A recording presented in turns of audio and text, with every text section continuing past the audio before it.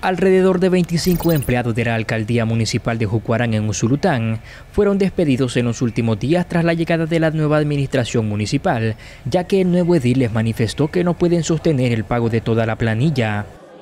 Ellos dicen de que no pueden este, mantener el personal debido a que el gobierno ha reducido el FODES eh, de, para poder mantener a los trabajadores. Se mantiene el personal porque si del hecho de que ellos este, estén llevando personal nuevo es porque este, pueden cubrir las plazas. Pues.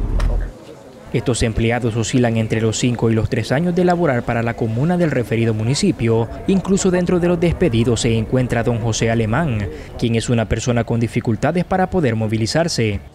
Que un, abogado iba a determinar si bien me quedaba o me iba. este, yo no sé por qué era que, que lo están despidiendo. Dice la ley que tiene que haber un decapitado en cada municipio. Y ellos, ¿por qué violan las leyes?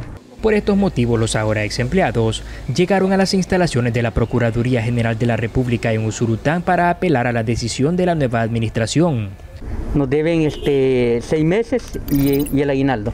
¿Y de eso qué les han dicho ahorita? Hasta ahorita no se nos ha dicho nada, eh, no nos han dicho si nos van a pagar, entendemos que ya depositaron el FODE, pero no nos han dicho que, que se nos va a cancelar.